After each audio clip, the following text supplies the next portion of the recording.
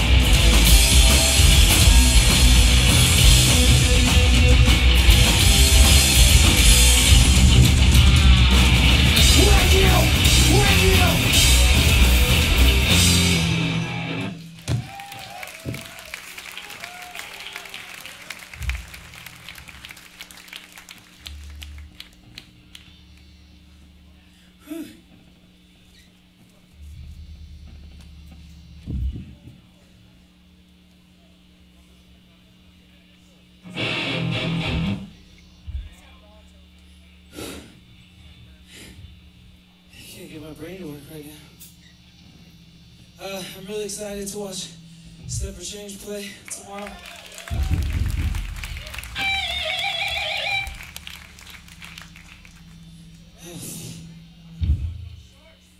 I didn't watch hockey, but I don't know.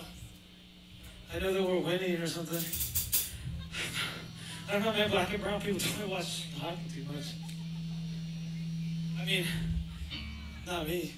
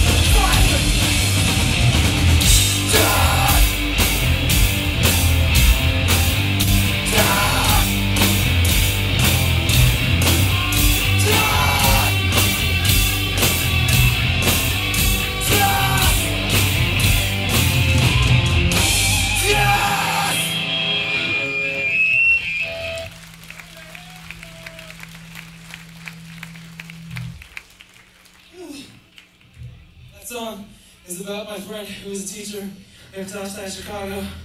Uh, all, there was a situation where she had asked her students who were all black and brown, boys and girls, uh, who they decided who they were going to vote for for mayor. Uh, and one of the students said, just let all the white people vote, they're smarter than us anyway. And uh, she was really taken back by that type of internalized racism that happens a lot with young black and brown youth. Because oftentimes, at least I know on the blocks where I came from, a lot of the younger kids absorb all the violence, be it physical or state violence, and define themselves by it as if they can't be anything else. So that song is about that. And it's basically uh, a push for older black and brown people to be an inspiration to the young people because any movement that's worthwhile is going to be moved by the youth.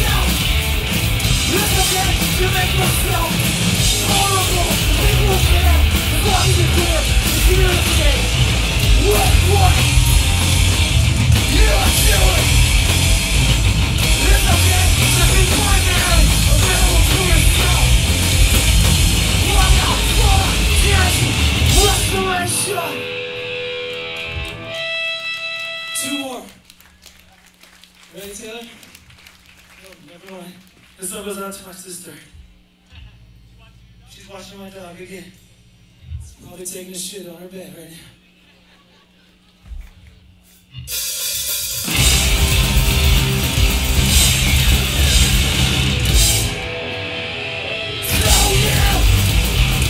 Watch you feel